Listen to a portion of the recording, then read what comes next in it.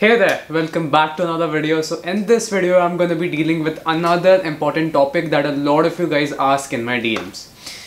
What is the difference between work experience and internship experience and how much does internship experience actually account for?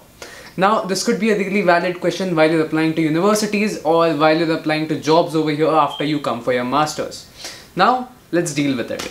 So, the basic difference between work experience and internship experience is First thing, do not confuse them as the same. Internship is different, work experience is different. Work experience is when you're working full time as an engineer or someone else in a company. That's a full time job.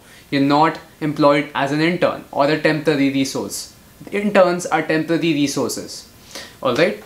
So, internships are generally smaller, two to three months, whereas full time jobs last for a long, long time. Now, let's compare two people Let's say an engineer is working full time in the company and there's another engineer who joins as an intern. Alright? Now, the amount of work that they receive is completely different. Are they on other levels? The full time engineer has more ownership of the product, they understand the business better because they've been working for a long time, whereas interns they've come only for two to three months. Now, it takes them a lot of time to get accustomed to the way work is being done how the work is supposed to be done, how to interact with other people, and those minor details and other things. Whereas a full time engineer already is accustomed to all these things. He has full ownership of the product. He holds more responsibility in the company.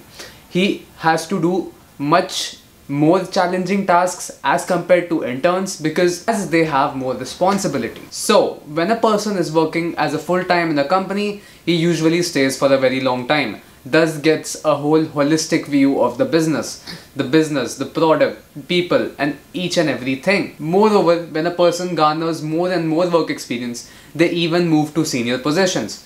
Now they're used to guiding the junior engineers and also interns. So they mentor both of them. Now a senior engineer also has more and more responsibility, thus he learns a lot. And in this way, when you apply for jobs over here, after coming for your masters abroad or even when you're applying to universities, they look for it. They look for people who have worked in the industry for some time, a minimum of let's say two years. Below that, work experience will not help a lot to be honest. At least get a minimum of two years work experience before you come for your masters over here because that is the bare minimum that you should have if you are coming for work with work experience. Now when you're applying for jobs also over here, they look for people like that.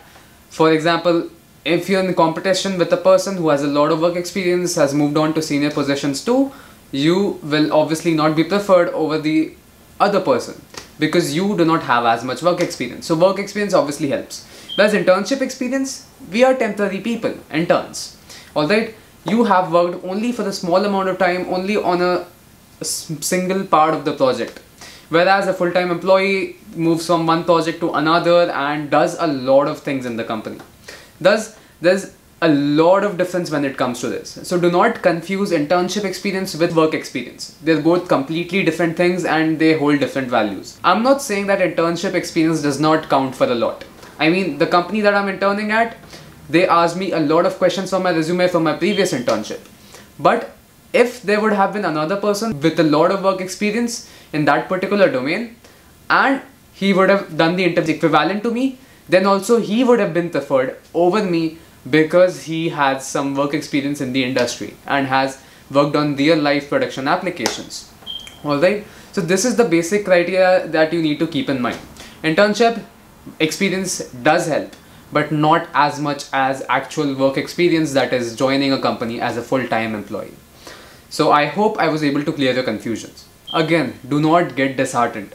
Internship experience also matters, but it just does not matter as much as actual work experience. Alright, keep that picture in your mind and you'll be good. So thank you so much for watching this short video. I hope I was able to clear your doubt. Send in more questions on my DMs or keep posting your comments. I keep looking through them and we'll soon address more of these questions in upcoming videos. Thank you so much for watching and i'll see you in the next one